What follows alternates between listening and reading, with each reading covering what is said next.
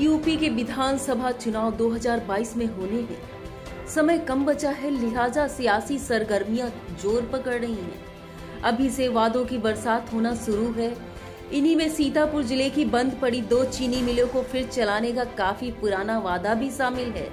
क्षेत्रीय विधायक सांसद से लेकर मुख्यमंत्री अखिलेश यादव ने भी इन्हें चलाने के वादे किए, पर जीतने के बाद पलटकर नहीं देखा।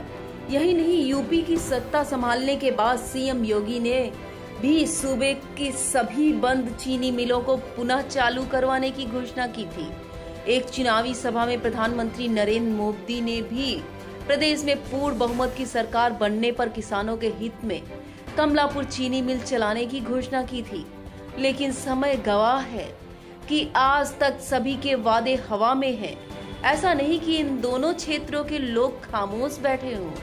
कमलापुर में जहाँ इसे लेकर नीचे से ऊपर तक लिखा पढ़ी जारी है। वहीं महोली में तो युवा अधिवक्ता विकास दीक्षित ने इसी मुद्दे पर 2012 में धरना अनशन किया था और फिर 2016 में पद यात्रा निकालकर तत्कालीन महोली विधायक अनूप गुप्ता के सीतापुर जेल रोड आवास पहुँचे थे, जिनके कहने पर राजधानी में सचिव स्तरीय वार्ता हुई थी।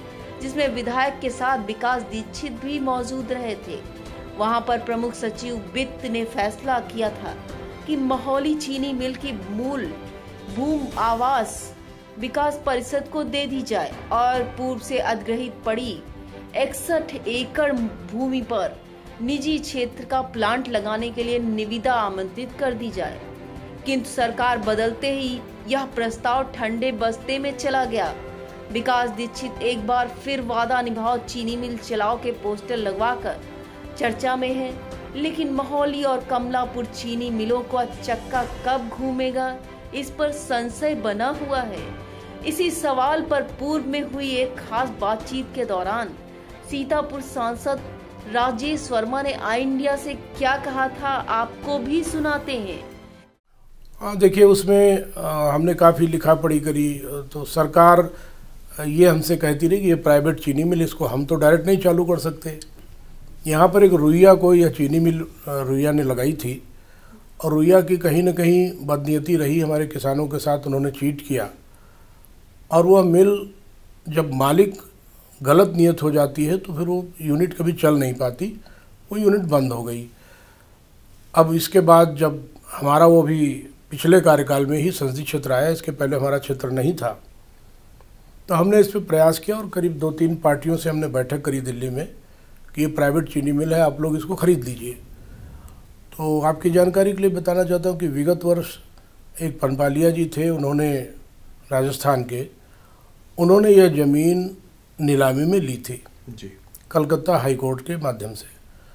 और उन्होंने काम भी शुरू किया लेकिन लास्ट में उनको फाइनेंशियल प्रॉब्लम आ गई। तो चीनी मिल को चालू नहीं कर पाए। वैसे हम तो ये उम्मीद करते थे कि पिछले सेशन में ही ये चीनी मिल चालू हो जाती।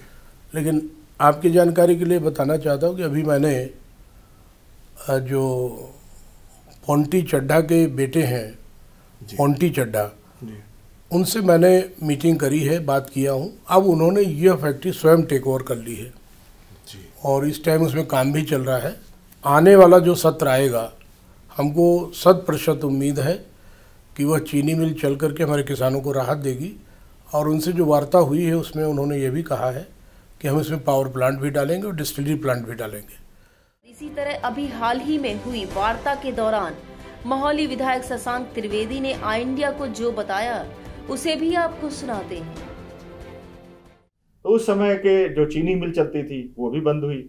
ये सारी चीज़ें कई सारी थी। तो मेरे मेरे मन में आया कि ये सारी चीज़ें, इनकी शुरुआत जो जो मैं कर सकता हूँ। चार पाँच साल कहने को बहुत होता है, लेकिन बहुत कम भी है पाँच साल का समय बहुत कम भी होता है। तो जब क्षेत्र में जब निकलना, और जनता ने जब चुना, और जनता ने कहा कि मेरा भाई मेरा बेटा विधायक बनेगा, उसके बाद में जब मैं क्षेत्र में आया, तब मैंने प्रयास पहले दिन से शुरू किए। और मैं धन्यवाद देता हूँ, आभारी हूँ अपने माननीय मुख्यमंत्री जी का जिन्होंने सबसे पहले मोहली चीनी मिल का मुद्दा उठा के और उसको टेकअप किया। और वो, मैं आज पहली बार मैं कैमरे के सामने, आप लोगों के सामने मैं बता रहा हूँ कि मोहली चीनी मिल सब कुछ बन के तैयार है, बस केवल और केवल कोर्ट की वजह से वो मामला रुका है। और जैसे ही कोर्ट में प्रयास जारी है, जैसे ही वो कोर्ट से निपटेगा मामला, तुरंत मोहोली की चीनी मिल का शिलान्यास होके और मोहली की चीनी मिल शुरू होने जा रही है।